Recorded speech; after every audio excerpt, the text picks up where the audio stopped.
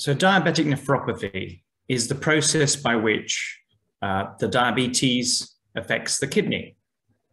And uh, there, there are early stages of kidney disease that we can't detect, or, and we don't have tools to detect. And there are later stages of kidney disease that we can detect. The problem with diabetic nephropathy is over time, it makes the kidneys leak and followed by uh, that leakage of, from the kidneys is toxic and, and it affects kidney function. And over time, kidney function declines. So therefore the kidney function slows. Uh, and unfortunately, in many cases, these people end up with kidney failure and the need for treatments such as dialysis. The early stages of uh, diabetic nephropathy involves increased pressure in the filter of the kidney called the glomerulus. We don't have good signs uh, or tools to detect this, but that's one of the earliest signs. But what we can detect in the urine is very small amounts of protein leakage uh, that comes out in the urine that we can detect with routine uh, clinical uh, tools. Uh, it is important for people with diabetes to have this check done at least once a year, if not once or twice a year. The late, later stages of kidney disease, unfortunately, involve uh, reduction in kidney function. So the kidneys slow over time.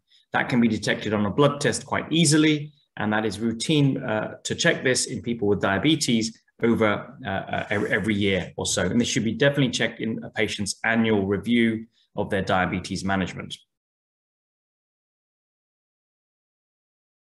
So my approach to treating or preventing kidney disease is really multi-pronged approach. So we need to look at blood pressure control, which is absolutely vital. Uh, we need to look at diabetes control, so glucose lowering treatments with the best treatments. We need to look at weight management, and we need to look at uh, blood cholesterol lowering. So all these factors uh, predispose to kidney dysfunction and worsening of nephropathy. But in particular, there are certain newer medicines available that actually can help uh, prevent and slow the decline of kidney function, thereby preserving people's kidney function.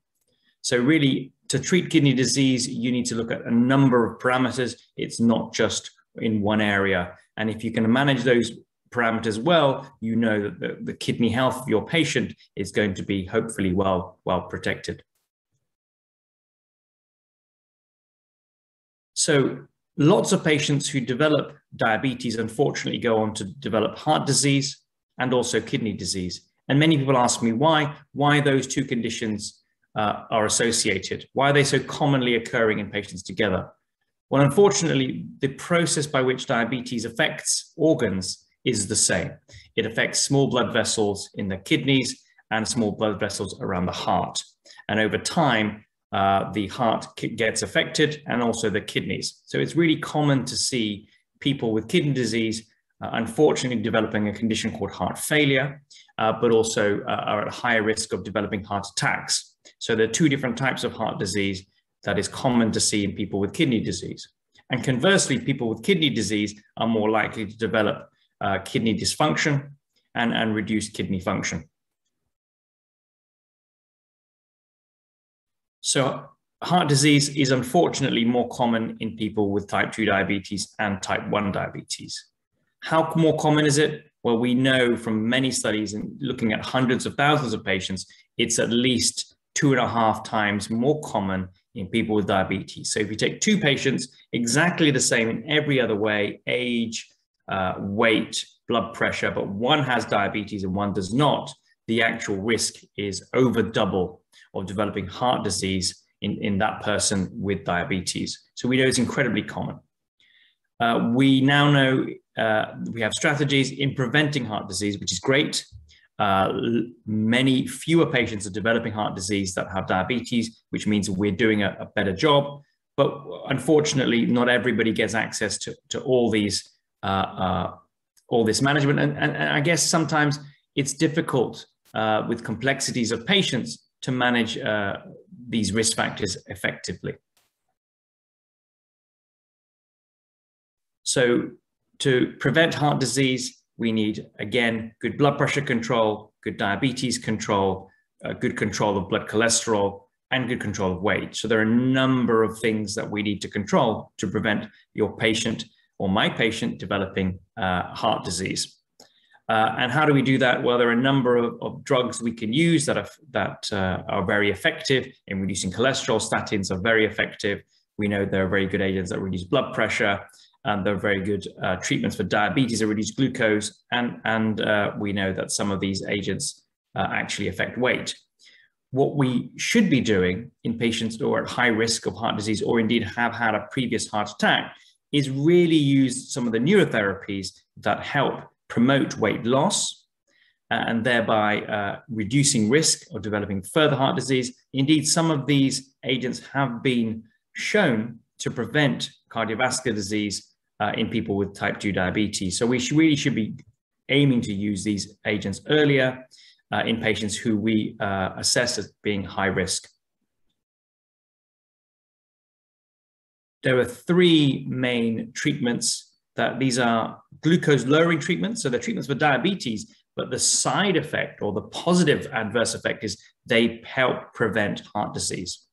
Uh, we know metformin uh, is a very commonly used drug uh, for diabetes, usually the first drug that patients are started on. We know over time there's some benefit in terms of preventing heart disease, and this has been shown in studies that have spanned, uh, you know, over a decade ago. So it's a helpful medication. But we know metformin in many patients over a long period of time is not enough to control their diabetes because over time, diabetes progresses and glucose levels therefore rise. And that's the natural history of type 2 diabetes.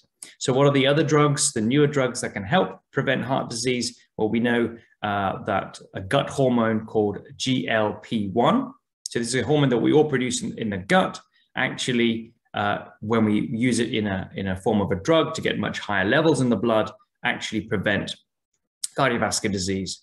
Until now, these have been injections because it's not been possible to, to formulate a tablet, but we now know a tablet has been recently available uh, with this sort of gut hormone. So these prevent stroke, these prevent cardiovascular disease, and should be used early in people at higher risk.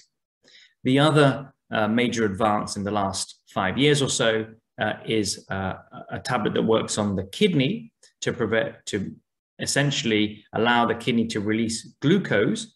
And we know that tablet is also helpful to prevent heart disease, in particular heart failure. Lots of patients unfortunately develop heart failure who have type 2 diabetes. So this, this drug is called the SGLT2 inhibitor class of medication. There are a number of them available. They all are helpful in preventing heart disease.